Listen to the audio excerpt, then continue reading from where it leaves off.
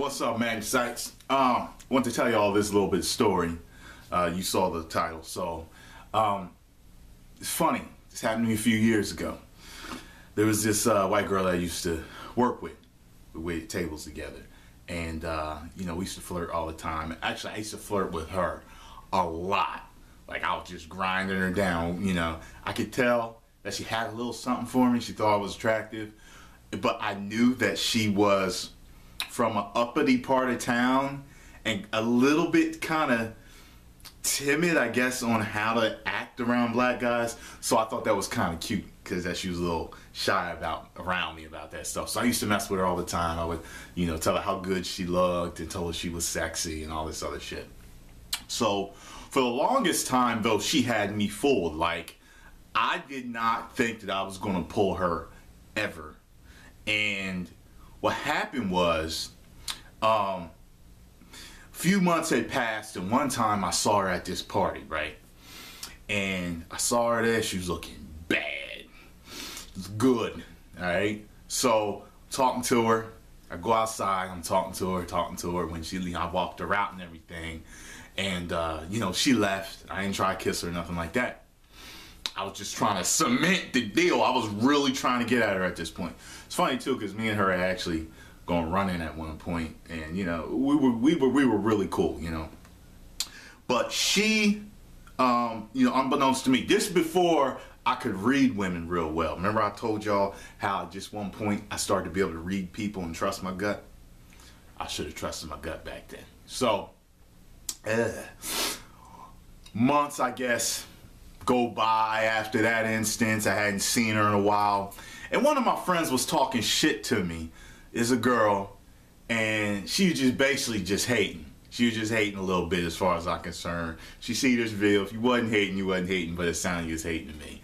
Cause I'm not like this. But she was like, I shouldn't even tell you this because you so damn arrogant. I'm like, what are you talking about? She was like, you know, such and such. Well, she said she liked you but she was too afraid to go out with you because she didn't know what her man would think, her ex would think about her going with a black guy. I was like, what? Wait a minute. Since when the fuck has anybody gave a damn about what their ex thought about their next girlfriend or boyfriend. Like really, unless you're trying to get them back.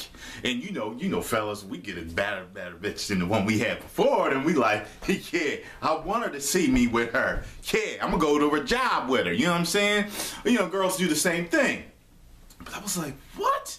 Yeah, she was like, yeah, she she was afraid of what he would think about her dating a black guy. I'm like, it's her fucking ex. So as you can see, there is some truth to that whole thing where it's like if if a white woman dates a black man, then white men don't want him. I think mostly it's on the whole insecurity thing. You know, if the white man does not want to date her, it's because he's insecure. He's buying into the whole myth of us being hung you know, three inches from the floor and, you know, all that shit. Like, not all of us got huge dicks and can fuck. That just ain't it, you know what I'm saying? Uh, there's a lot of things about black men that are true sexually, you know, and in the bedroom, you know, we got a good stroke, we got rhythm, we are big, you know, we know we doing, a lot of us. But it's not like we're these, like, gods that cannot be equated in the bedroom. You know what I mean? So white men, stop worrying about that shit. And for the rest of you, yeah, I know you're just racist. That's all it is. You're monkeys and you're subhuman. America. Yeah, I know. I, I, I, know. You, you, you ignorant motherfuckers. I don't even care about. But you see that, y'all? You see that? See, I could have went, and it's funny because me and her got along so well. We really did. We got along really, really well. I was like, that is really fucked up. So, um, what's funny is though, she ended up getting back with that ex and marrying him, and I recently saw her status on Facebook and her divorce. See that? See, girl? See, you done fucked up.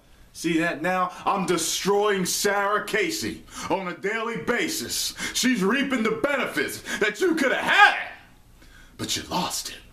All because you're afraid what your boyfriend would think about a little bit of chocolate, and everybody loves chocolate, baby. So, Yeah, that's the story, y'all. Ain't that stupid of her? That was just retarded. That's alright though, cause I found out that she was wilding the fuck out anyway on her, man, and I wouldn't want to get with her and find out she was doing that to me. So I guess it was good that I did not go out with this girl. So yeah, I guess there's some truth to that shit, man. Crazy, ain't it?